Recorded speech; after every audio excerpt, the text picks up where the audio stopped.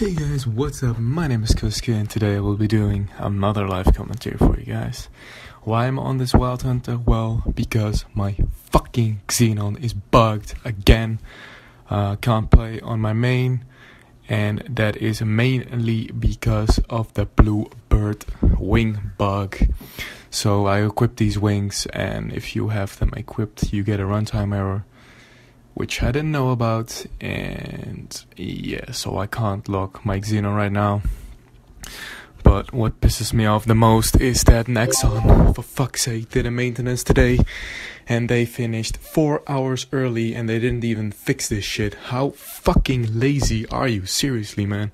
Holy shit, man.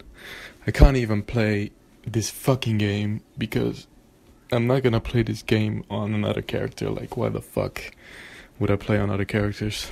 Anyways, I'm pretty damn pissed. Um, it's been bugged for like two weeks right now. There's already been two maintenances, but of course, they don't fix shit. And there's some other places as well that can't play right now. But yeah, they just don't do anything about it. Fuck this game, man. Seriously, fuck this game!